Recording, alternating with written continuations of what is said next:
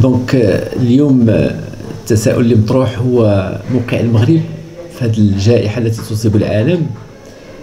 طبيعة الحال راه من المهم أن المغاربه يكونوا عارفين شنو واقع حولهم لأن دابا الآن مع العولمه ما بقاتش شي حاجة اللي كتوقع في بلاد وما كتوقعش في بلاد أخرى.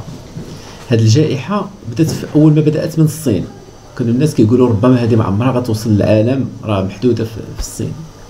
بعد بعد أيام قليلة بدأت البوادر ديالها في أوروبا. بالامكانيات ديالها.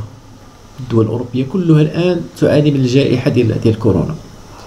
ثم بعد ذلك وصلت لمستويات قياسية في ألمانيا في إيطاليا في إسبانيا في فرنسا رغم الإمكانيات اللي كتمتع بها الدول. والآن بطبيعة الحال بحكم أن المغرب آه، التنقلات ديال المواطنين المغاربة وديال السياح الأجانب ما بين المغرب وخارج المغرب الوباء وصل للمغرب آه، بطبيعة الحال حنا كمواطنين المغاربة مسؤولين خصنا اولا نكونوا عارفين شنو واقع وفي نفس الوقت خصنا نكونوا في مستوى المسؤولية. هذا فيروس كينتشر بوسائل معروفة يا إما بقطرات الرذاذ أو اللعاب أو المخاط اللي كيكون في الأنف أو بواسطة اللمس المباشر خلال المصافحة أو في في, في, في العناق. كينتقل أيضا لما كنقيس بعض الأسطح لأن الفيروس كيبقى فيها واحد المدة ديال كتروح بين ساعتين وحتى ل 24 ساعة في بعض الأحيان. اذا الوسائل ديال التنقل ديالو والانتقال ديالو عارفينها.